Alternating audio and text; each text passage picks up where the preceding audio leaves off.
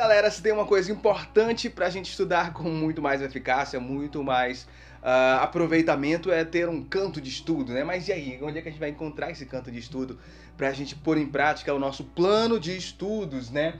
É no nosso quarto, na nossa cozinha, na nossa sala, às vezes, como a, a nossa casa é um lugar coletivo, a gente não encontra muito assim essa tranquilidade em alguns momentos, né?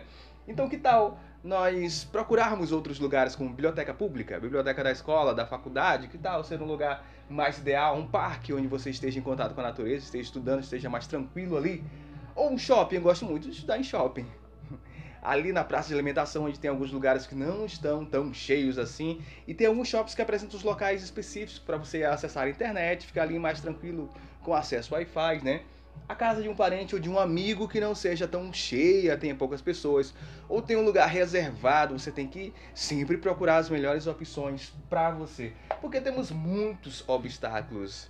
Um dos obstáculos somos nós mesmos. A internet, às vezes a gente fica lá e dá uma passada, alguém chama a gente, então temos que.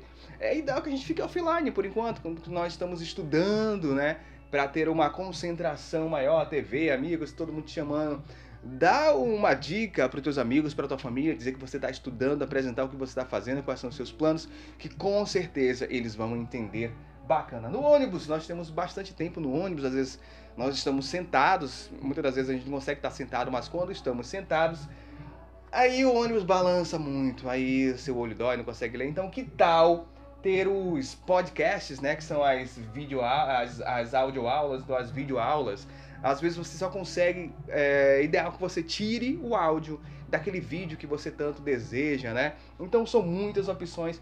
Eu, particularmente, já desapeguei. Eu, quando tô lá, é preciso fazer uma discussão na sala de aula, na hora da faculdade, que a gente precisa discutir um texto, eu só boto o meu fone de ouvido. Gente, calma lá, eu vou dar uma lida. Daqui a pouco a gente conversa para discutir, porque não adianta nada. Todo mundo tá discutindo aquele mesmo texto sem que eu tenha lido antes, tenha marcado ali as, as partes importantes. Então, é, é, isso que eu faço, já desapeguei, tá bom? Se inscreve, deixa o gostei, ative as notificações pra gente estar sempre aqui discutindo e trocando muitas ideias no canal do Collis. Até o próximo vídeo.